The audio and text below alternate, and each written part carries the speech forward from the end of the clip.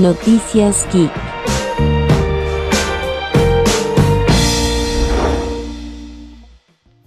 Critican a Xochil Gómez por su acento español en Doctor Strange en el multiverso de la locura.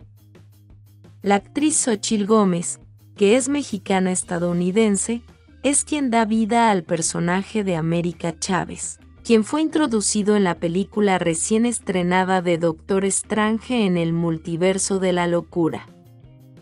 Ahora, con el estreno, las críticas no se dejaron esperar, pues ya se han burlado del acento que la actriz tiene cuando ésta habla en español. Les compartimos uno de los fragmentos en donde la actriz habla español en la película. ¿Este güey no habla español? ¿Este güey no habla español? Ahora la gente se burla no solo de la actriz, sino de Marvel, pues dicen que si harán una buena inclusión de gente latina, debería ser más real y creíble, por lo que debieron haber agarrado a una actriz 100% mexicana y que pudiera hablar bien el español e inglés. Entonces las personas dicen que la actriz no ha terminado de convencer y más por lo mocha que habla.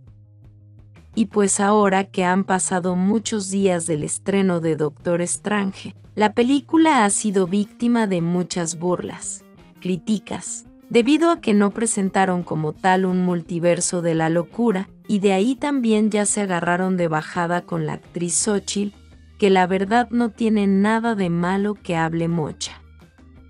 Muchas otras personas entraron en su defensa en donde argumentan que las mismas personas que se burlan de su acento son personas que dicen, aiga, fuiste, dijiste.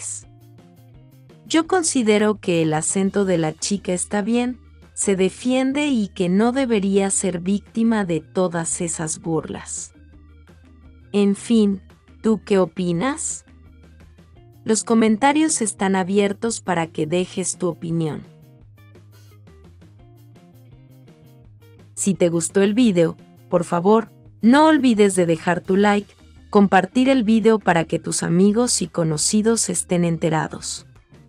Suscríbete en el botoncito que dice suscribirse, es gratis, y también activa la campana de las notificaciones para que estén avisados cada que se suba un nuevo video.